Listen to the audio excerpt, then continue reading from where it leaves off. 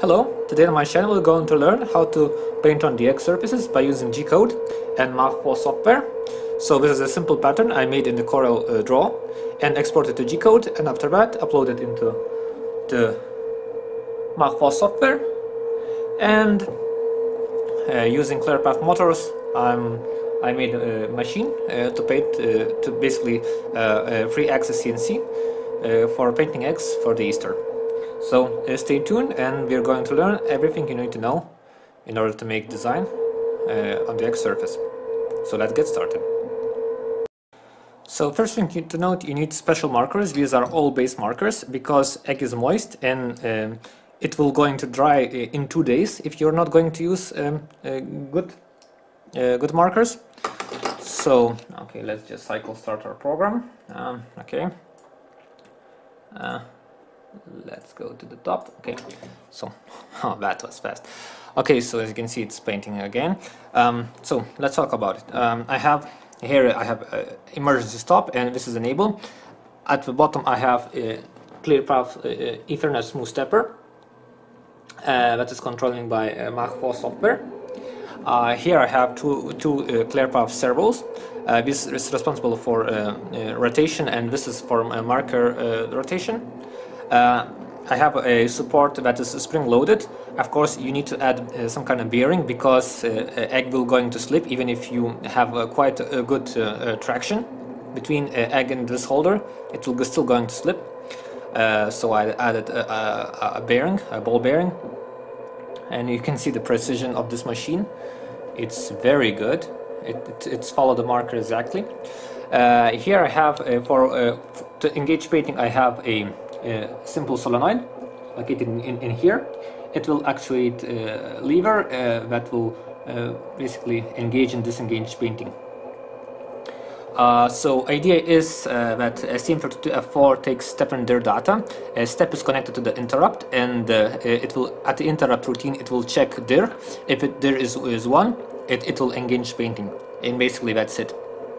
And this will basically cut power to microprocessor and um, yeah it's nothing very it's nothing uh, too hard to make but you need to have uh, parts. I just have some some wood some some feet uh, and um, I have also one kilowatt power supply for servos. And this power supply is responsible for power for uh, Ethernet smooth stepper and and solenoid and STM32F4 ARM processor.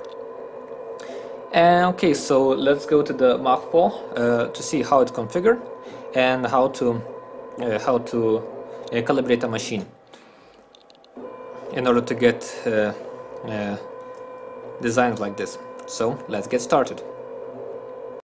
Step one is to configure Mach 4 software. So we go into configure Mach.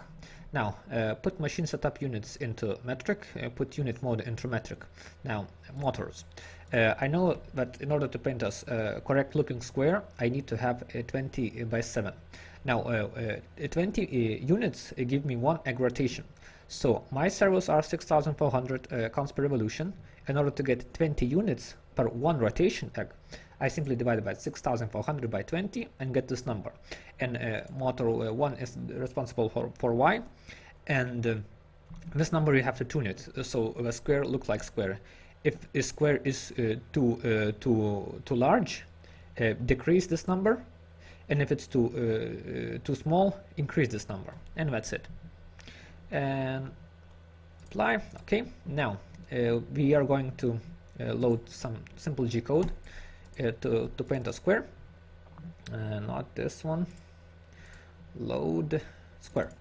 Now this will paint a square. Basically it's goes from the, uh, to bottom left corner and we'll go around and we're going to lift up. That's it. So let's enable our machine. Machine is enabled and we can cycle start.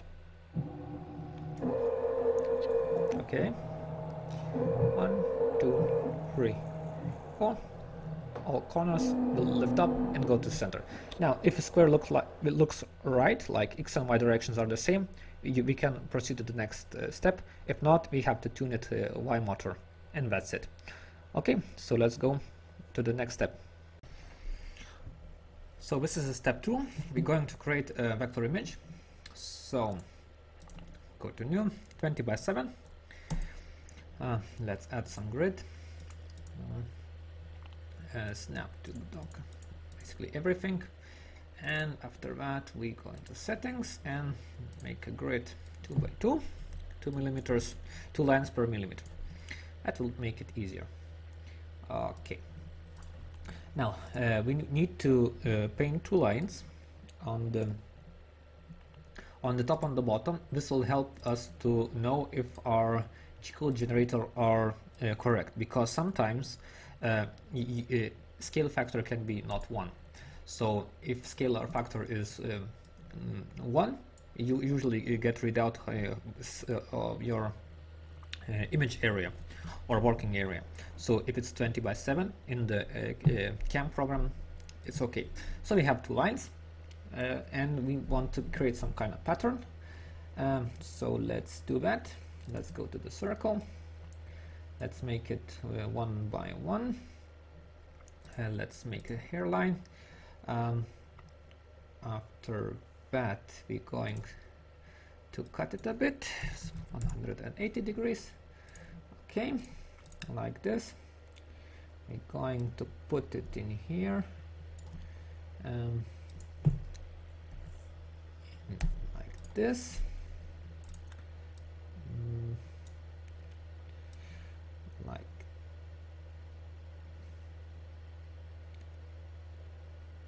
like this okay. And just copy multiple times. It should auto scale okay. Now let's make take more of them to make it faster. Okay.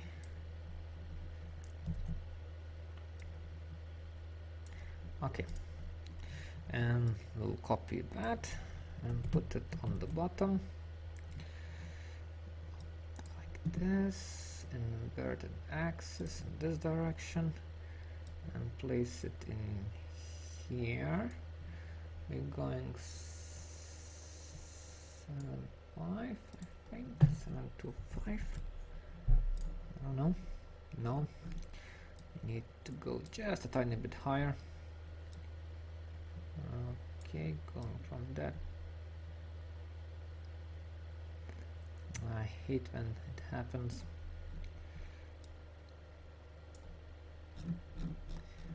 Eh, close enough so we have and now we just add some lines. Like this. And we are going to select this and this and we're going to copy. And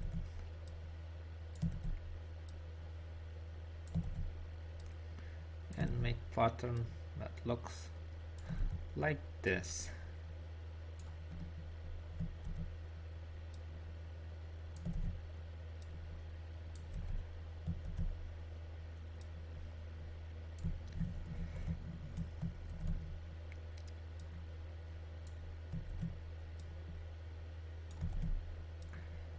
Okay.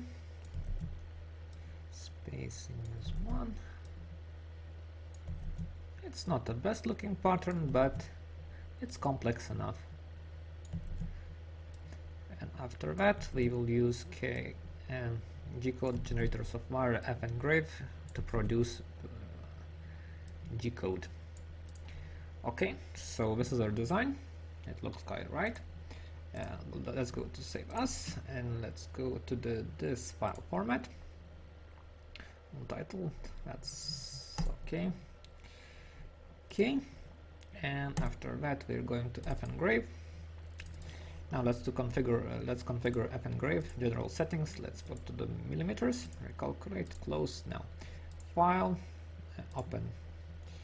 Open desktop. Titled okay now we have the pattern. Now look this distance is not okay. Width and height uh, because we want 7 and we want to make a line small. So yeah so as you can see now we know that uh, distance is correct and we can export this to the now let's make uh, CMZ1 and cutting depth minus 1 and feed rate uh, let's go 100 recalculate and go to the file save G-code file entitled tab file. And test let's call it test. And go to desktop and save. Now let's go to Mach um, uh, load and test. Yep it looks quite, quite right. And we can basically start painting and now my machine is painting um, two lines and after that it'll, it'll go to the this mode. So let's go to the live view to see how it looks in real world. Whoa that's nice. Now that's an, an efficient uh, an efficient uh, G-code generator. I very very well like that. Oh that's just nice. Okay let's go to the camera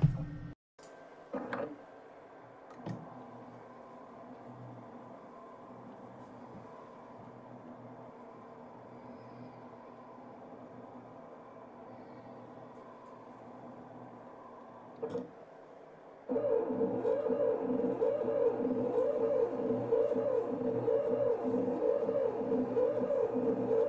you.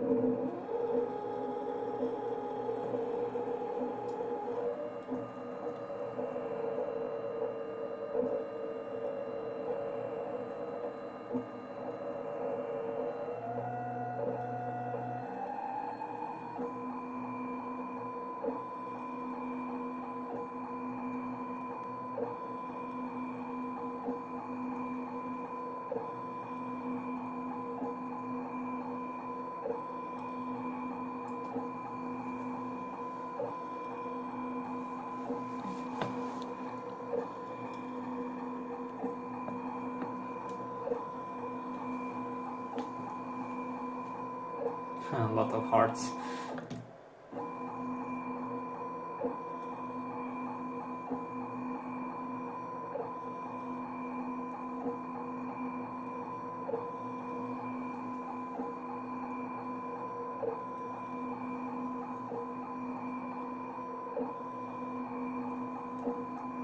Oh, I would say it's quite good and good looking.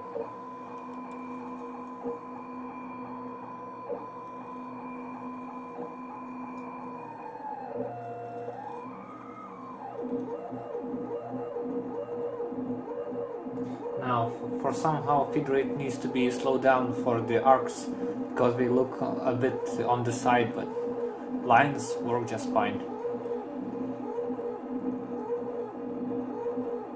And we're gonna get a pattern match error on the zero mark.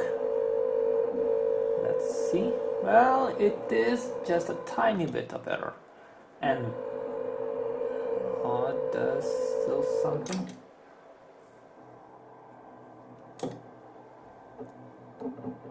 Ah, it doesn't.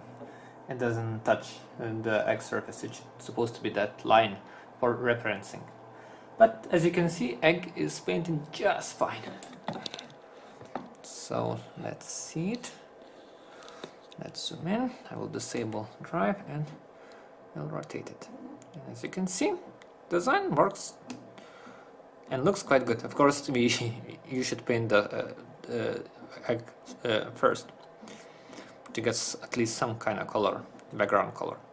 And if you have uh, more markers like I do, you can make um, lines of other colors.